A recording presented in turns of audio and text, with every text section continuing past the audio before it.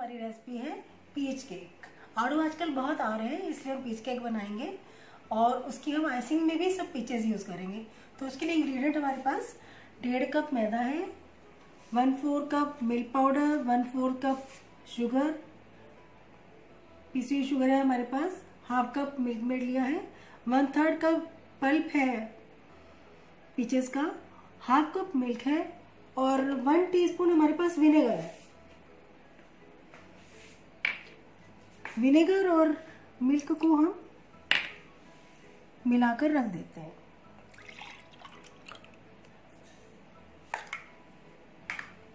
है, और 25 फाइव हमारे पास ऑयल है। इन दोनों को मिक्स करके यूज़ करेंगे। वन फोर टी स्पून मेरे पास नटमेग पाउडर है। तो केक बनाने के लिए मैंने दो टीन तैयार कर ली है। इनको पहले ग्रीस कर लिया, फिर मैंने इसको डस्टिंग कर ली मैदा से। काम करना शुरू करते हैं। सबसे पहले हम ड्राई इंग्रीडियंट्स को इकट्ठा करते हैं। दोनों, ये हमारा डेढ़ सौ ग्राम मैदा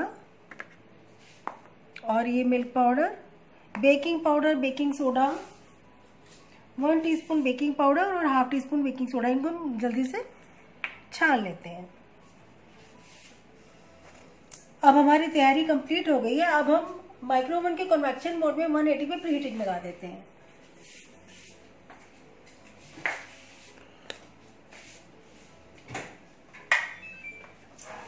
वन एटी डिग्री पे मैं इसको स्टार्ट कर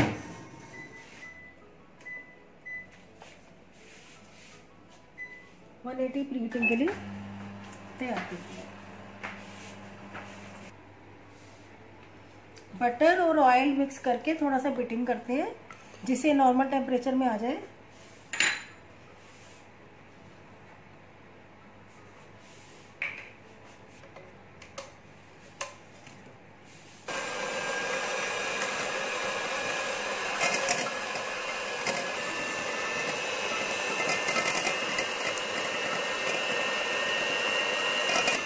बटर और ऑयल मेरे दोनों मर्ज हो गए हैं।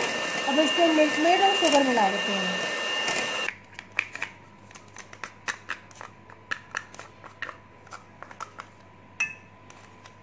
हाफ़ कप मिल्क मेड है। वन फोर कप शुगर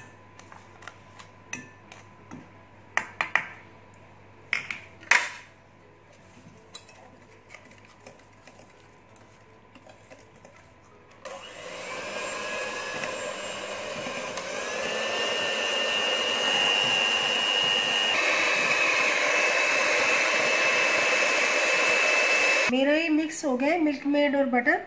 अब मैं इसमें एसेंस डाल देती हूँ।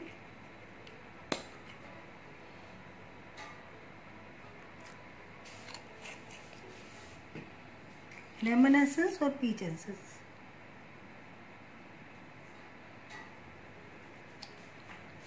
धीरे वेट और ड्राई इंग्रेडिएंट्स मिलाएँगे। थोड़ा सा मैदा।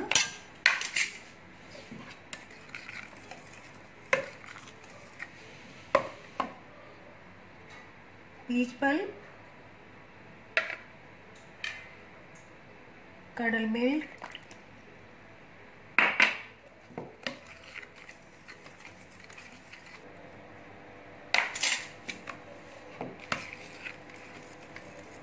फेंटेंगे नहीं जस्ट मिक्स कर रहे हैं।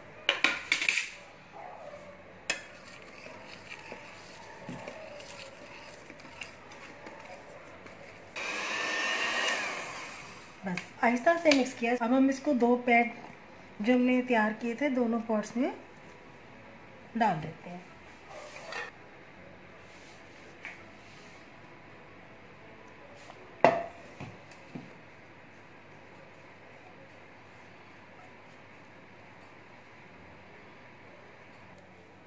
दोनों पॉट मेरे तैयार हैं। अब हम इनको बेक करने जा रहे हैं।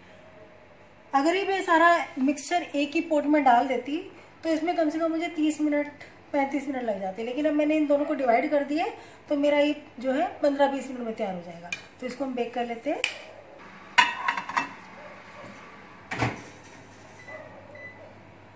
ओके। 20 मिनट लगा देते हैं। एक मेरा 15 मिनट में और एक 20 मिनट में तैयार हो जाएगा। जो कम मिक्सचर है 15 मिनट में और जो ज़्यादा है वो 20 मिनट में तैयार हो जाएगा। इसके पूरे होने वाले हैं। मैं इसको बाहर चेक कर लेती हूँ।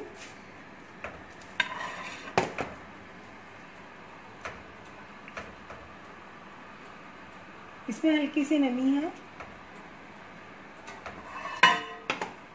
ये तैयार लग रहा है। ये हमारा तैयार है। इसको हम बाहर निकाल लेते हैं। इसको दो तीन मिनट और लगा देते हैं। तीन मिनट में अभी और बढ़ा देते हैं।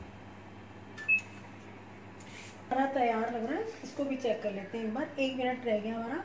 नाइनटीन मिनट इसके हुए हैं और सेवनटीन मिनट में ये तैयार हुआ है।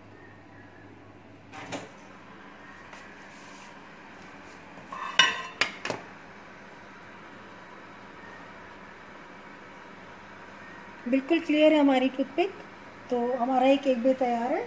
अब हम इसको स्विच ऑफ़ कर लेते हैं। तो मैंने ये दो केक जो तैयार किए हैं इसकी मैं पहले तीन या चार पोर्शन कर लेती हूँ। थोड़ा सा ये ऊपर ऊपर से ऐसा लग रहा है, इसको थोड़ा सा काट लेते हैं। ऐसे भी हो जाएगा, लेकिन काट लेते हैं ज़रा सा, और अच्छा हो जाएगा। बहुत अच्छा बहुत स्पॉन्जी बना हुआ है हमारा केक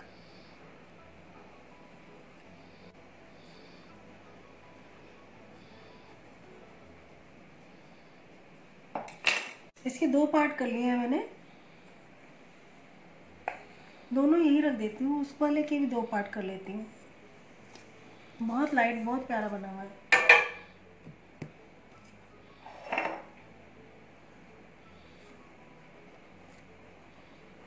क्रीम बीट कर लेती हूँ। नेक्स्ट स्टेप करते हैं काम शुरू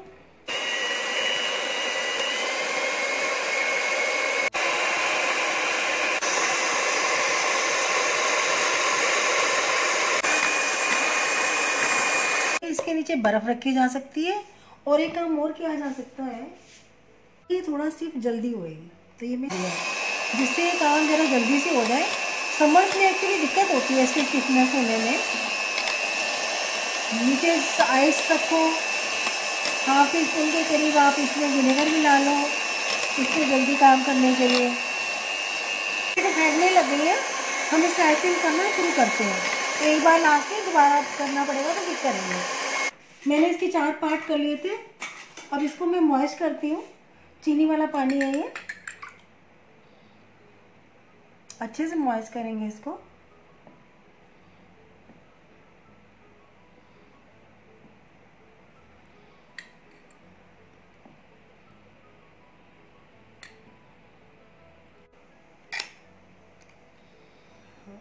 अभी ये सॉफ्ट है।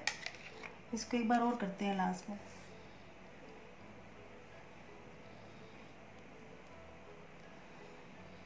बहुत नहीं, भरेंगे हम इसमें भरेंगे पीच पीचेस को मैंने चीनी और कोफ्लो में थोड़ा सा कुक करा है. खूब सारे पीचेस भरने वाले हैं हम इसमें. फुल ऑफ़ पीचेस आपको टेस्ट आएगा. मेरे स्पॉन्ज में भी पीच है और फिलिंग में भी पीच जा रहा है. पीच मार्केट में खूब अवेलेबल हो रहा है. बहुत अच्छे से खाएँगे हम. बॉयल्स कर रही हूँ. और इसको मैं इसके ऊपर लगा देती हूँ.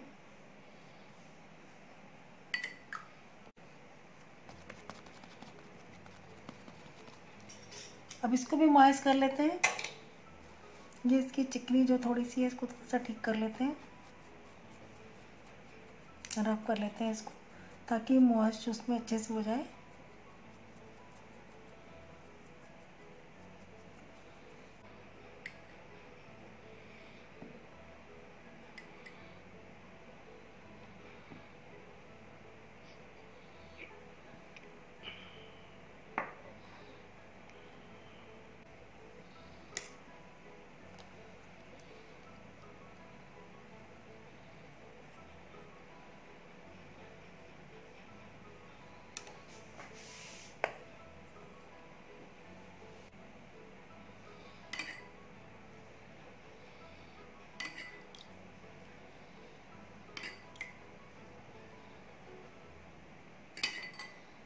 से पीच की एक लेयर लगाते हैं।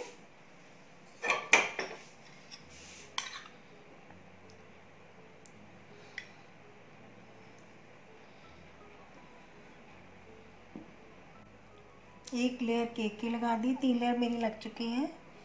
फिर से इसके ऊपर हम मॉइस करते हैं क्रीम लगाते हैं।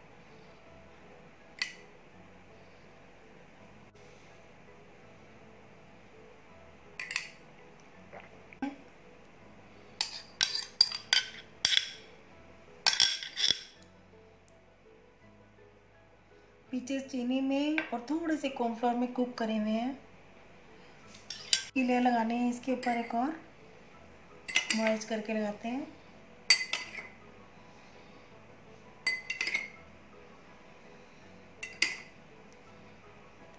चारों लेयर लगानी है मैंने क्रीम और पीचेस की लेयर अब इसको हम कवर कर लेते हैं। क्रीम हम एक बार फिर से ठंडी करके बीट कर लेते हैं। ये भी सॉफ्ट जा रही है हमारी क्रीम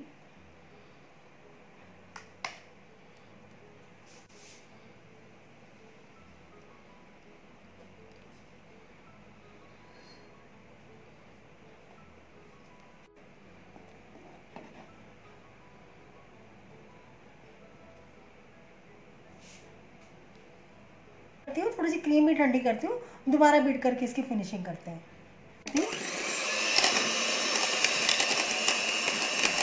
पंद्रह बीस मिनट मैंने रखा होगा इसको अंदर। वापस से बीटिंग कर रहे हैं।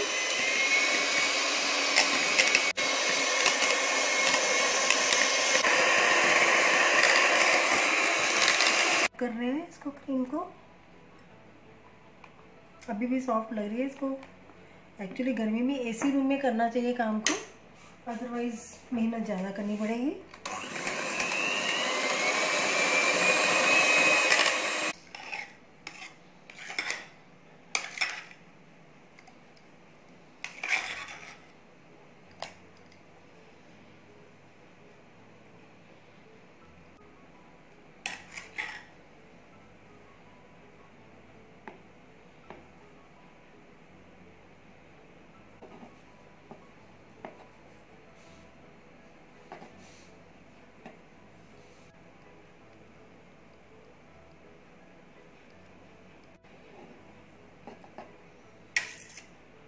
साइड थोड़ी सी फिनिश कर लेते हैं, बस। इसमें ज़्यादा मेहनत करने की ज़रूरत नहीं, क्योंकि हमने पीचेस डालने हैं ऊपर।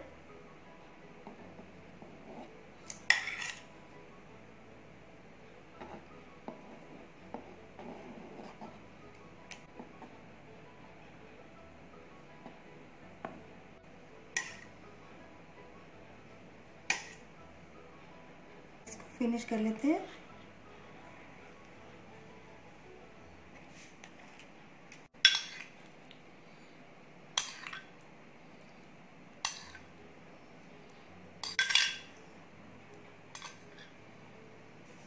पानी डाल लेते हैं। मिक्स कर लेते हैं ठीक से। मिक्स हो गया इसको थोड़ा सा हम इसके ऊपर डालते हैं।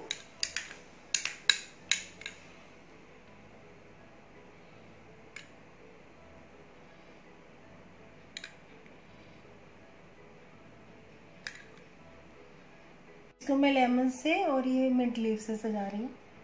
इसकी फिनिशिंग हो गई है। अब अगर आप इसको बोर्ड पे लेके जा रहे हैं तो साइड में बस यहाँ पर एक स्टार नोज़ा से बॉर्डर बनाएँगे, बिल्कुल ये फिनिश हो जाएगा। बहुत बढ़िया बनेगा और स्वाद भी बहुत बनेगा। आप इसको ज़रूर बना के देखिए। Thank you